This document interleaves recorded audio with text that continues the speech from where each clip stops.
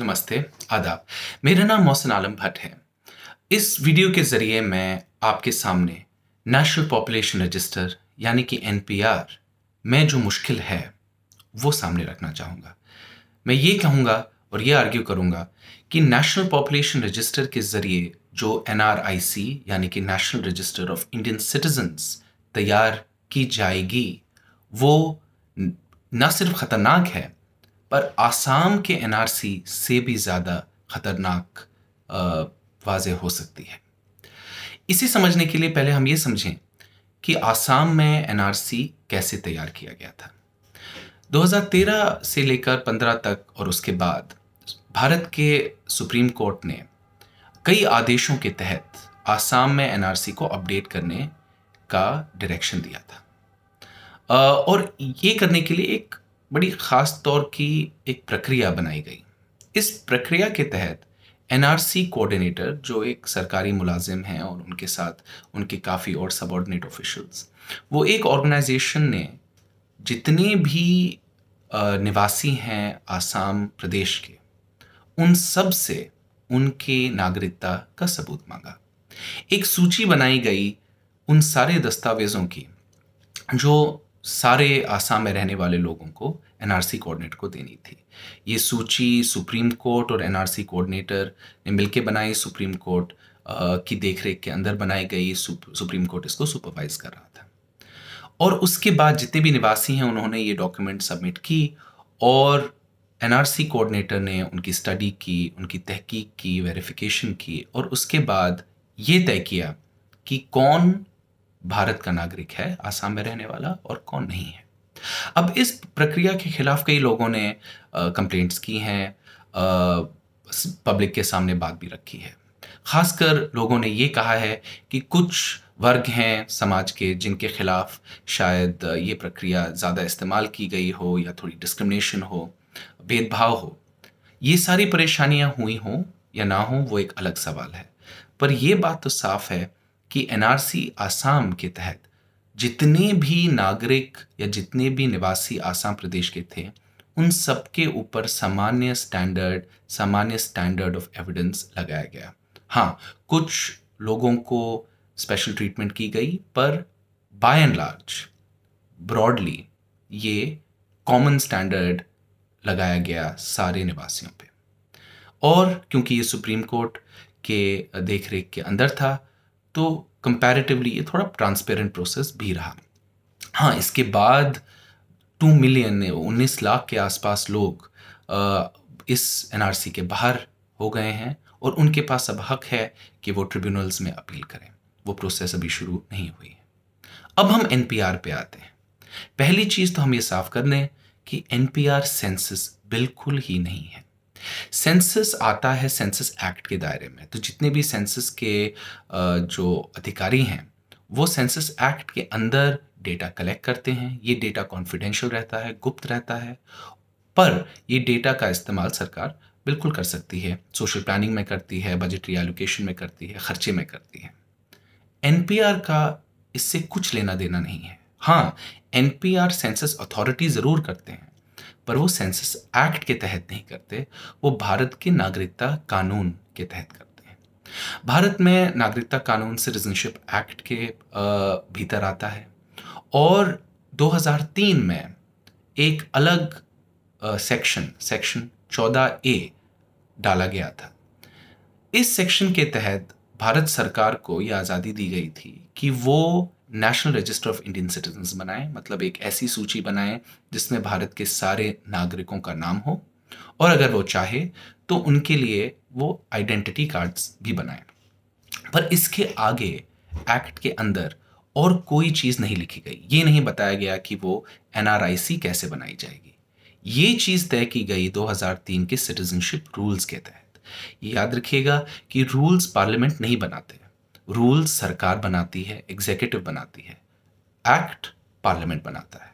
तो पार्लियामेंट ने सरकार को यह बताया कि आप चाहें तो आप national register of Indian citizen बना सकते हैं। सरकार ने फिर वो रूल्स बनाए खुद, जिसमें उस एनआरआईसी को बनाने का एक रास्ता दिया गया। वो रास्ता क्या है? उस रास्ते का पहला कदम है नेशनल पॉपुलेशन रजिस्टर इस नेशनल पॉपुलेशन रजिस्टर में हिंदुस्तान में जितने भी रहने वाले लोग हैं निवासी हैं, उनकी सूची बनाई जाएगी। और ये काम दिया गया सेंसस अधिकारियों को। सिटीजनशिप रूल्स के अंदर। सेंसस अधिकारी जाएँगे, वो एक सूची बनाएँगे। आपसे आपका नाम मांगेंगे। अब एनपीआर मैनुअल भी आ गया है, जिसमें सारे इंस्ट्रक्शंस हैं सेंसस अधिकारियों को कि वो किस किस्म की जानकारी इकट्ठा करेंगे।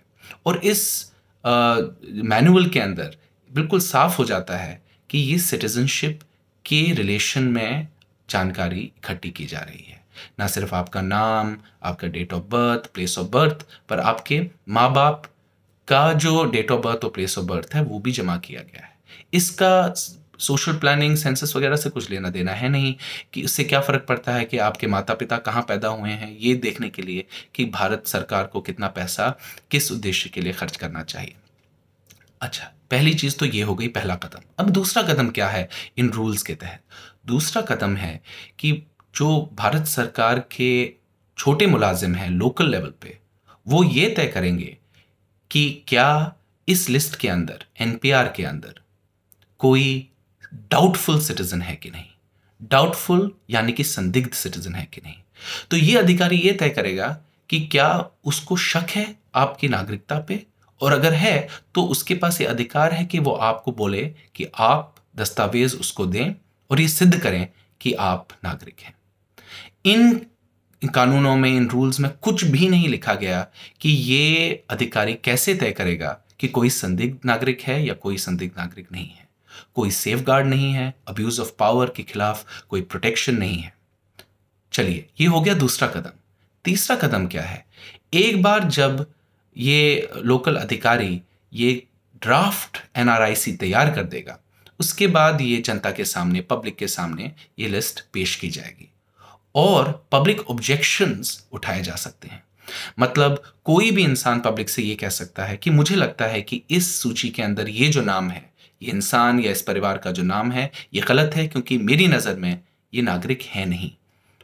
कौन पब्लिक ऑब्जेक्शन उठा सकता है किस बुनियाद पे उठा सकता है और भारत सरकार के जो मुलाजिम हैं वो किस बुनियाद पे ये तय करेंगे कि ये पब्लिक ऑब्जेक्शन सही है या गलत है? कानून में उसके बारे में भी कुछ नहीं लिखा गया। ये बहुत ख़तरनाक बात है क्योंकि ना सिर्फ़ भारत के आ, सरकार के जो मुलाजिम हैं उनके लिए भी कोई गाइडलाइन नहीं है। पर पब्लिक ऑब्जेक्शंस इनवाइट करने से किसी भी इंसान के खिलाफ टारगेटिंग हो सकती है। उसकी तरफ़ ये निर्देशित किया जा सकता है कि उसको परेशान किया जाए विक्टिमाइज किया जाए। और कानून के अंदर इनमें से किसी चीज़ के लिए भी प्रोटेक्शन नहीं है। अब हमें बिल्कुल साफ़ नज़र आना चाहिए कि आसाम के एनआरसी और एनपीआर से जो एनआरसी निकलता है, उसमें क्या फ़र्क है? एनपीआर से जो एनआरसी निकलता है, वो सबके ऊपर लागू नहीं होता। पर इस कानून के अंदर एक भारत सरकार के मुलाजिम, एक मामूली मुलाजिम को इतनी ताकत दी जाती है कि वो किसी की तरफ़ भी ये निर्देशित कर सकता है कि वो दस्तावेज़ पेश करे, किसी भी नागरिक को वो परेशान कर सकता है।